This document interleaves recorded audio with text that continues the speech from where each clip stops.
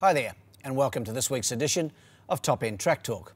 I'm Andrew O'Toole, and today we'll be unveiling the 2020 Great Northern Darwin Cup Carnival with the opening day coming this Saturday, and of course it's Tab Darwin Guineas Day, the 4th of July.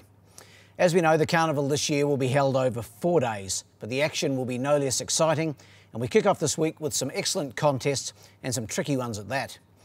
With good entries this week in the 0 to 58 1300, that race was divided to give us nine races on the day. Some 75 horses have accepted for Saturday, with the first getting underway at the early afternoon time of 12.38 pm. In the opener, the mix 104.9 handicap, a 0 to 66 event over 1600 metres. My numbers are 3, 4 and 6. Going here with number three, Isle of Light from the uh, stable of Angela Forster.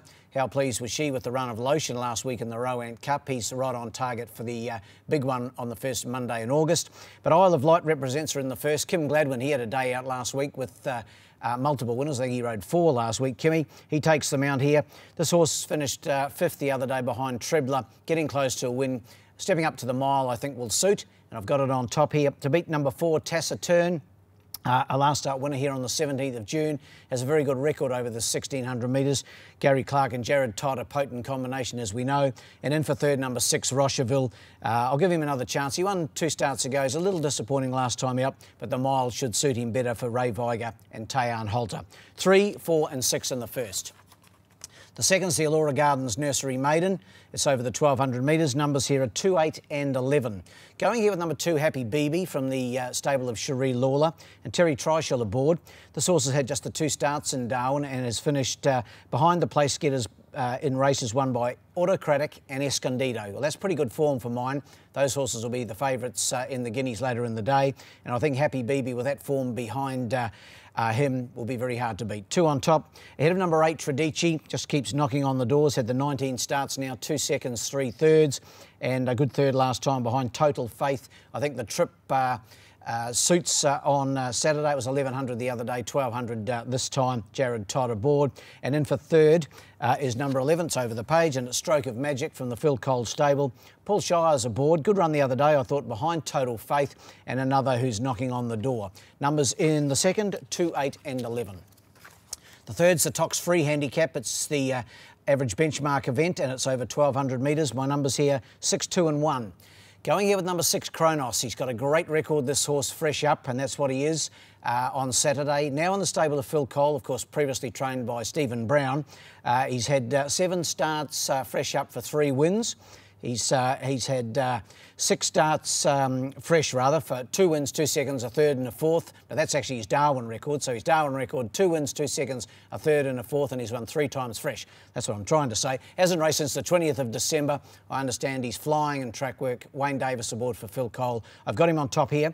Ahead of number two, Harmonian Bells for Gary Clark and Kim Gladwin. Good second here at his last start behind High Cost. And uh, she's a mare who uh, is always uh, a must include in a race such as this. And in for third, number one, Prince Planet.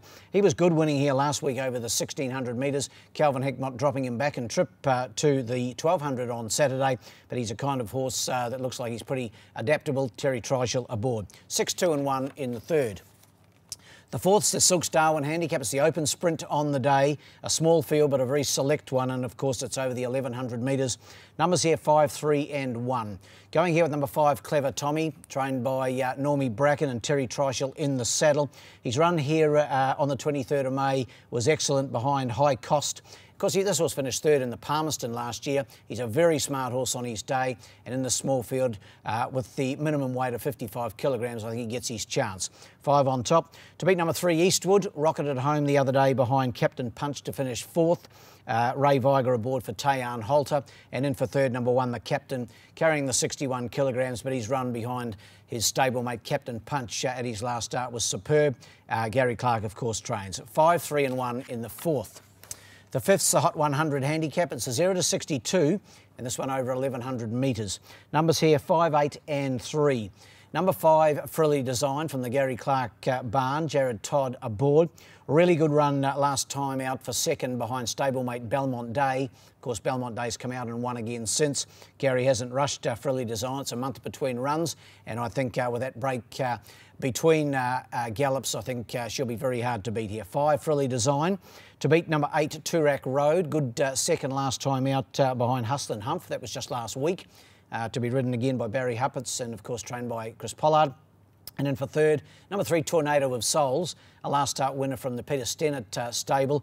Ray Viger aboard. He was scratched last week, this horse, but um, goes round on Saturday, hopefully, and should race well again. Five, eight, and three in race five. The sixth, the uh, 92.3 FM Top Country Handicap. It's a bit of a mouthful. It's the 0 to 70 over the 1100 metres. My numbers here 5, 6 and 1. Number 5, Rock Atomic for me. Paul Shires for Gary LaFoe. Really good fresh up uh, run here the other day, and that, of course, was behind Captain Punch. He finished third. Uh, he's uh, up in weight today, but uh, or on Saturday rather, up in weight, down in class. No captain punches or the captains in this, and I think he'll be winning number five, Rock Atomic. To beat number six, uh, the fresh runner, another bit from the Gary Clark team. Kim Gladwin aboard. He was a star of last year's carnival in the lower grades. He's very quick. He's had a trial, and I think he'll race very, very well. And in for third, number one, the stablemate of another bit, Divine Red, Jared Todd for Gary Clark.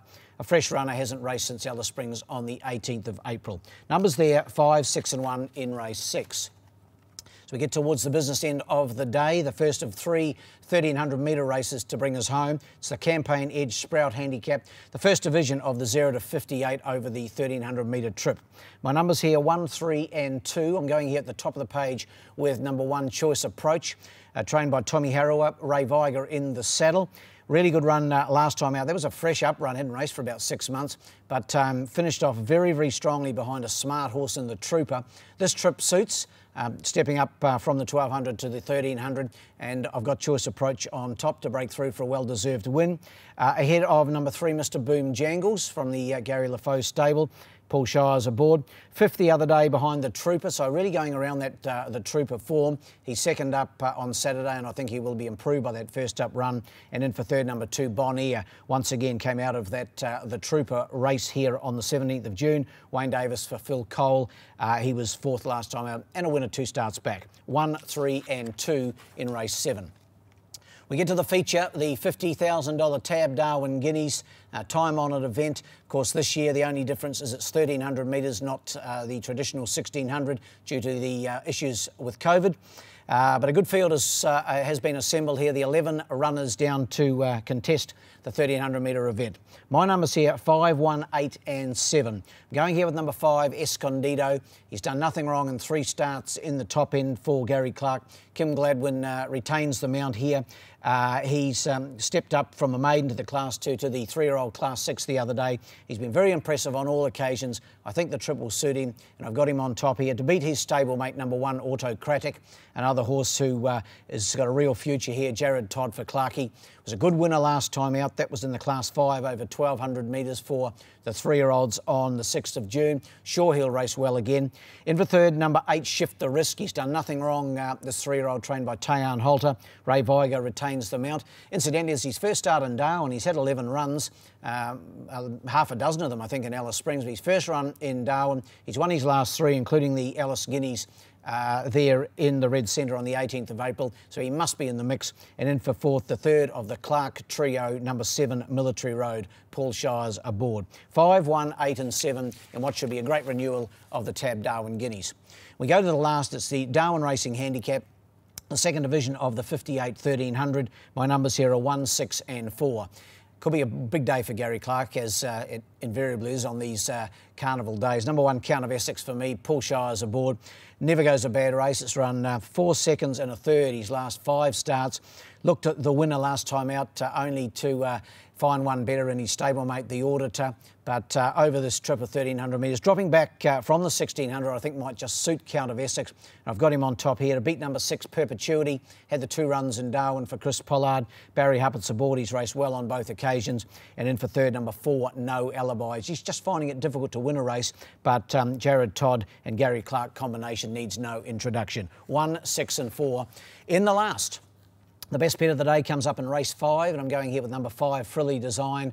Race five, number five, Frilly Design. No Belmont days in this to contend with, and uh, she should be improved by that first up run. While the best ruffian is uh, in race eight. In the Guineas, I'm going here with number nine, Testino. Really good run the other day for uh, second placing, uh, and uh, one of four in the event trained by Tayan Holter uh, could give us sight.